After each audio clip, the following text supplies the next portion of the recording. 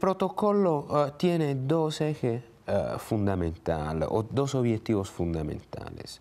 Primero es proteger el migrante, el migrante que se encuentra en muchísimos casos en situaciones irregulares.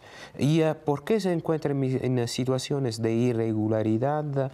Es uh, uh, aún más desprotegido de lo que son sus derechos fundamentales. El migrante que se encuentra en situación de irregularidad no busca el apoyo de las autoridades justamente porque en muchos casos es clandestino y al contrario se entrega en las manos de eh, grupos eh, criminales que eh, siempre más aprovechan de esta entrega, aprovechan no solo cobrando para facilitar su traslado, sino siempre más para desarrollar también una serie de otras actividades delictivas.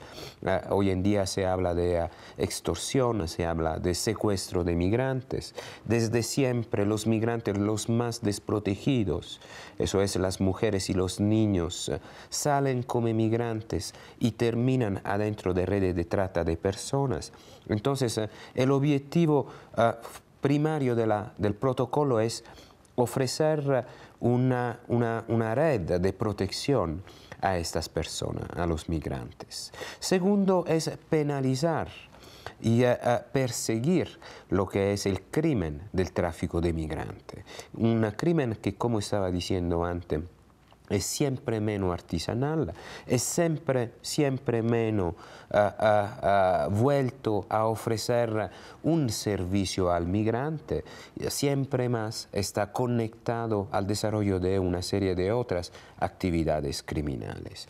Y para todo eso se necesita seguramente la cooperación internacional, se necesita una plataforma que permita a los estados no solo de tener en sus propias legislaciones eh, definiciones e instrumentos eh, parecidos y similares, sino también políticas y instrumentos que permitan la represión de ese fenómeno, el tráfico de migrantes, más allá de lo que son las fronteras nacionales.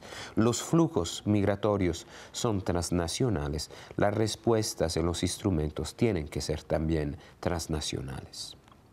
El elemento oh, de diferencia entre el tráfico de migrantes y la trata de personas ah, se encuentra en la generación misma, la génesis del delito. En el tráfico de migrantes hay el encuentro entre dos voluntades. La voluntad del migrante de hacer un traslado y de superar una frontera y la voluntad de la organización criminal de la red de tráfico que ofrece una serie de servicios. Y en ese contexto seguramente el migrante es coautor del hecho criminoso. Pero no obstante eh, el hecho que sea coautor, el artículo 5 del protocolo dice de manera muy clara que el migrante no, no puede ser perseguido por ese delito. ¿Por qué? Porque el migrante se encuentra en una situación de necesidad y por esa situación de necesidad se entrega a organizaciones criminales. Aún así es coautor, no puede ser hecho corresponsable del hecho criminoso. En la trata de personas, el, el entorno es completamente diferente. La trata de personas tiene tres elementos uh, fundamentales. Primero el engaño. Uh, se habla de víctima de trata de personas porque uh, la víctima, la persona que es tratada es engañada o está bajo violencia para volver para destruir su voluntad y transformarla en un esclavo. En el segundo lado hay el aspecto de la explotación económica, eso es que hay una víctima verdadera y hay un victimario que aprovecha de esa situación para generar un provecho. Y tercero, la utilización por parte del victimario o de violencia o de elementos de violencia psicológica para quebrar la voluntad de la víctima y hacer de manera que la víctima haga lo que se le está pidiendo. Todo esto siempre adentro de un contexto transnacional en donde se prevé el traslado de la víctima de un estado a otro. El protocolo hoy en día cuenta con 127 ratificaciones. Eh, lo que hace eh, que el protocolo eh, tiene ya una cobertura geográfica bastante grande, pero todavía no es comparable a la ratificación y a la cobertura que han tenido otras convenciones internacionales o otros protocolos como el protocolo de trata. en materia de implementación, aún sí hay bastantes ratificaciones, eh, falta el entendimiento específico eh, de lo que es el tráfico de migrantes. No hay legislaciones que penalicen y criminalicen eh, el delito en su naturaleza, como tampoco hay persecución judiciales, eso es, casos que han sido llevados a la justicia de manera contundente, que sea por el delito de tráfico de migrantes. Entonces hay que hacer todo un trabajo para que todo esto uh, sea realizado. Hace mucho uh, uh, falta la que es la prevención del delito, eso es la información que tiene que necesariamente ser brindada a los migrantes que se pueden volver coautor de este delito para no caer en las manos de las organizaciones criminales. Hace mucha falta también todo lo que es el dispositivo de la Convención que prevé la protección del migrante. Desafortunadamente hoy en día ah, los migrantes que han sido coautor de tráfico de migrantes siguen siendo objeto de medidas cautelares.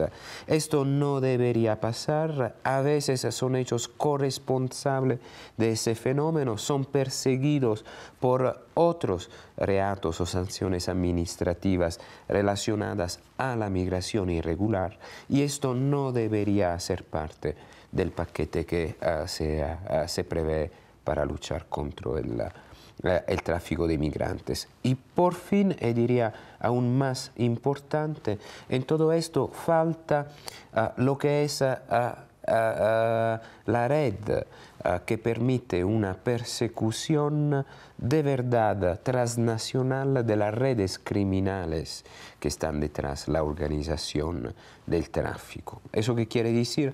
Que puede haber persecución a nivel nacional, persecuciones que logran desmantelar uno de los muchos anillos de la misma cadena. Ahora, como por otros crímenes transnacionales, hay a, mecanismos que permiten operaciones encubiertas, que permiten operaciones simultáneas, que permiten llevar como resultado final el deslumbramiento de toda la cadena criminosa, desde su punto de origen hasta, hasta su punto ah, terminal, los mismos se debería hacer con el tráfico de migrantes.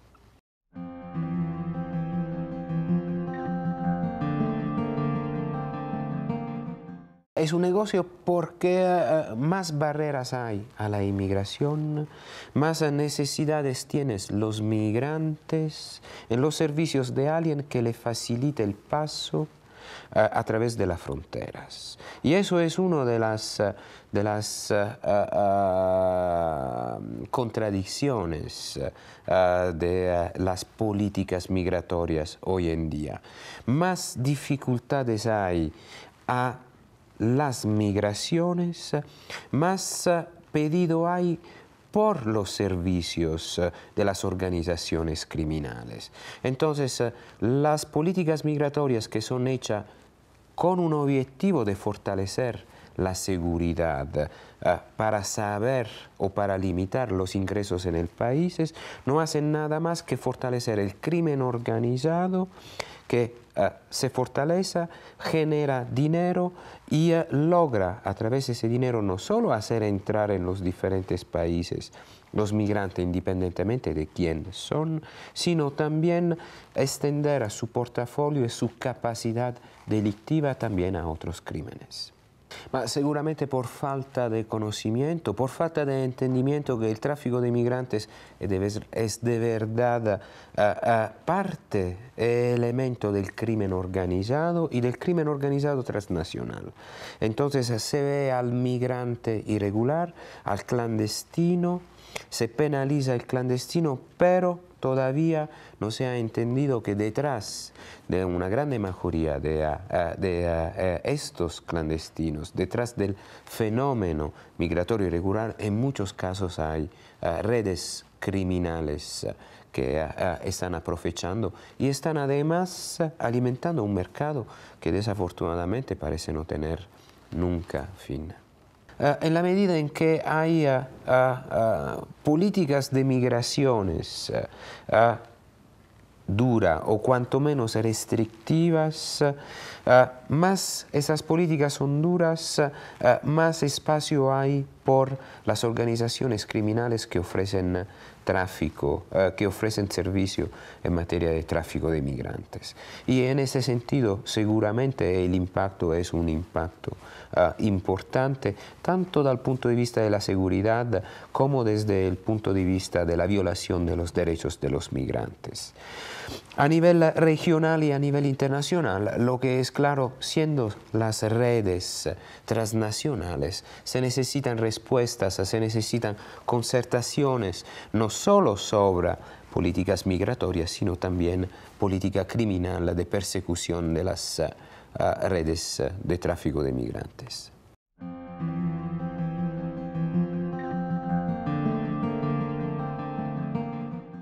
El hecho mismo que el migrante irregular que se entrega a, las organizaciones criminales prácticamente no existe, es un fantasma, no tiene eh, ningún derecho, aún si está explotado, no puede ir a denunciar sus victimarios por el miedo que le tiene a ser denunciado y a ser expatriado. Todo esto es una violación. Y además, la migración es un derecho. Desafortunadamente el migrante en la medida en que se siente o tiene la percepción de estar en una situación de clandestinidad tampoco busca hacer valer sus derechos. Ah, me refiero en particular al caso de México. En México el migrante hoy en día tiene algunos derechos y puede tratar de hacerlos valer. Ah, en, eso, en ese ámbito se destaca, por ejemplo, el trabajo maravilloso que hacen muchas organizaciones no gubernamentales que se acercan a los migrantes, no solamente ofreciéndole asistencia, asistencia inmediata y primaria, sino también ah, brindándole los conocimientos que el migrante tiene que tener, sobre todo cuando estamos hablando de viajes, de traslados que duran varios meses, sino años se pueden proteger, se pueden eh, eh, eh, elaborar, probar mecanismos que permitan al migrante de salir de su situación de clandestinidad, regularizarse y también aprovechar de una serie de derechos que pueden ser brindados por las autoridades. Unos pasaportes, unas, unos visas de tránsito, algo que certifique la presencia del migrante y que le permita también acudir a las autoridades o a los servicios que son previstos para esa clase de personas. seguramente adentro de los migrantes, las mujeres, eh, los niños y las niñas, eh, y hay siempre más menores eh, que se juntan a los flujos migratorios irregulares, son los más eh, vulnerables. Los más vulnerables por razones físicas, por razones culturales y porque desafortunadamente también eh, hay toda una serie de situaciones eh, que ponen ese tipo de personas en situaciones mucho más ad alto riesgo.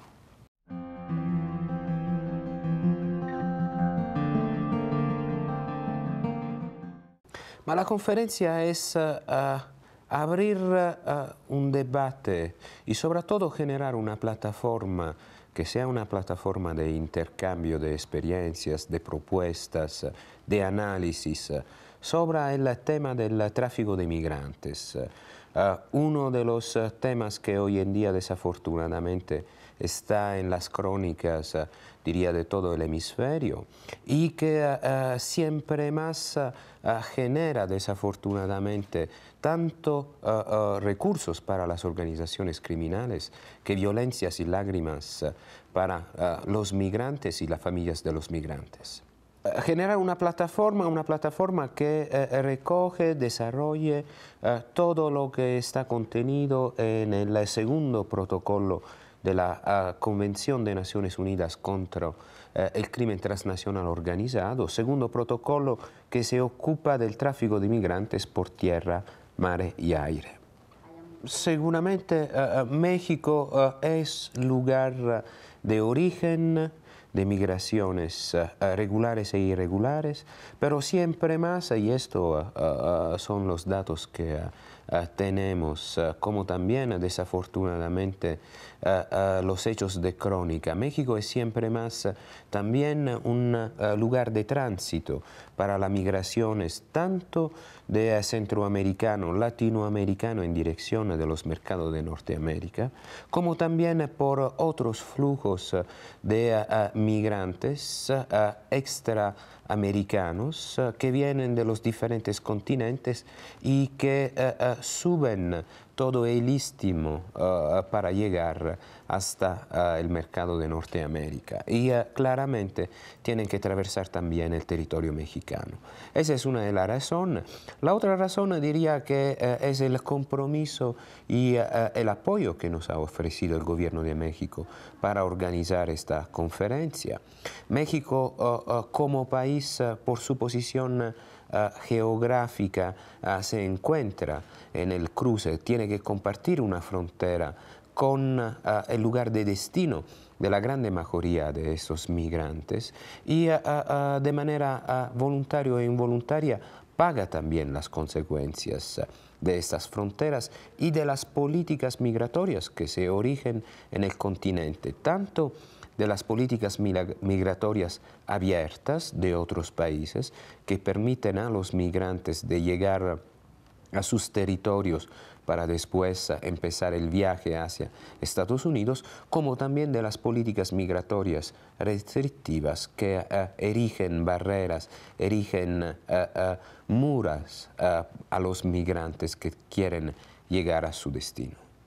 México ha aprobado hace poco una nueva ley de inmigración. A nivel de algunos estados hay unas iniciativas extremadamente novedosas y de soporte a lo que son los migrantes y los derechos de, los migrantes.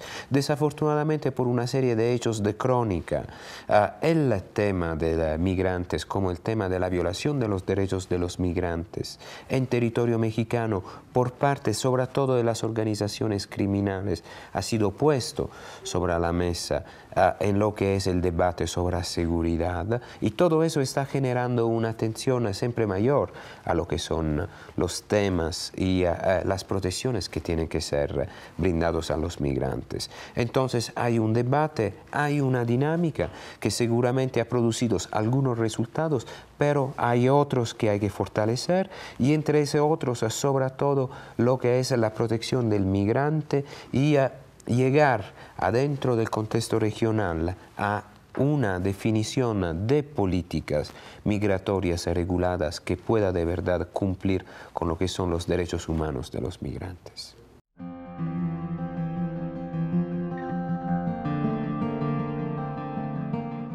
Aún así hay eh, las ratificaciones, hace todavía falta de los marcos legislativos, hacen falta la prevención, hace falta la vulgarización de lo que son las legislaciones nacionales en muchos casos, hace falta la... Ah, ah, ah, formación de los operadores en el terreno a enfrentar casos parecidos, a no victimizar el migrante, sino a tratar de buscar cómo desarticular las redes criminales. Hay una serie de instrumentos que, por ejemplo, están previstos en las convenciones, eh, eh, la colaboración, la protección que tiene que ser entregada a los colaboradores. Un migrante puede colaborar activamente a deslumbrar la cadena delictiva para todo eso, pero el migrante necesita él también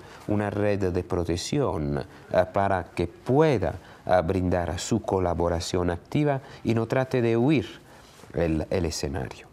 Seguramente eh, más buenas prácticas son conocidas, más eh, esas buenas prácticas eh, se extienden, más amplio es esa red que puede de verdad no solamente brindar asistencia y protección a los migrantes, sino sobre todo perseguir el crimen y desarticular las redes criminales que aprovechan del deseo legítimo y justo de los migrantes de cruzar las fronteras. Abriendo el debate, presentando eh, lo que se sabe, y hay que decir que se sabe muy poco porque uh, hacen faltas estudios, datos duros. estábamos hablando antes que hay muy poco o casi no hay casos de persecución judicial. Entonces es todo un mundo que tiene que ser descubierto. pero abrir el debate, traer expertos de los cinco continentes aquí para que ellos puedan brindar sus experiencias, sus investigaciones. Es un aporte en la construcción de esa plataforma de conocimiento que nosotros esperamos genere la dinámica a, través de la cual las leyes después se implementan, las organizaciones no gubernamentales se conecten, las instituciones puedan hacer más cuidado a lo que es la situación de los migrantes. Eh, se han hecho progresos. Eh, el tema de la, de, la, migración es un tema que es eh, ampliamente debatido y adentro del tema de la migración y de la regulamentación de la migración está también el tema de tráfico de migrantes. Entonces hubo avances. Claramente cada Estado tiene la prerrogativa fundamental de decidir su política migratoria. Lo que es cierto es que seguramente una migración más cierta, más regulamentada, no solamente solucionaría los problemas del tráfico de migrantes, sino que solucionaría también los problemas de seguridad, tanto de los migrantes como de las sociedades que tienen que recibir los migrantes. Los avances son que eh, eh, también en este campo eh, se está hablando, se, está, se están haciendo las legislaciones, se están revisando e incorporando adentro de las políticas de seguridad y también de migración el tema del, del tráfico. Eso es, no es solamente el tema de migración, de migración irregular, sino también la componente eh, tráfico de migrantes.